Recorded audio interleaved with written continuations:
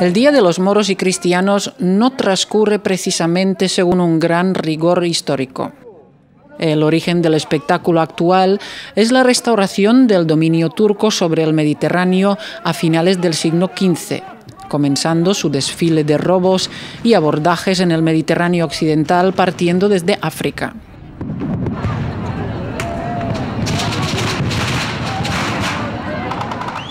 El intento de Carlos V de Habsburgo de vencer a los piratas junto con Aragón, Castilla y Baleares no tuvo éxito.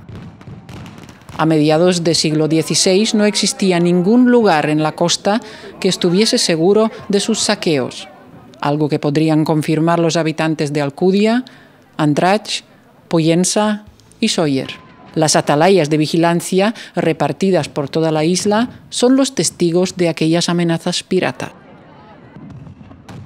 Los Sawyerics celebran cada 11 de mayo la victoria de una batalla que tuvo lugar en 1561 la manera en que se venció es algo que seguramente desconocen por lo menos los más jóvenes, pero en cualquier caso todos quieren hacer el papel de turcos, que tienen la diversión asegurada muy bien pintados de negro, persiguiendo mujeres y navegando en barco.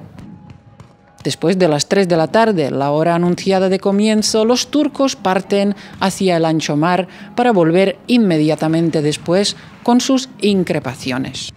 En la playa los esperan los cristianos, que llenan sus escopetas de pólvora mezclada por ellos mismos y disparan constantemente al aire.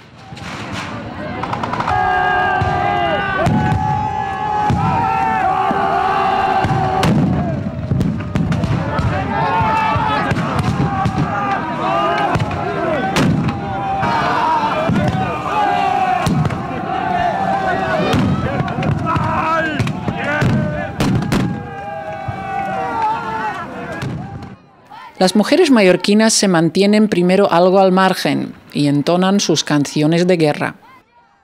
A las valientes mujeres de Sawyer se les atribuye a fin de cuentas la victoria contra los turcos al atacar en el momento en que sus hombres parecían sucumbir.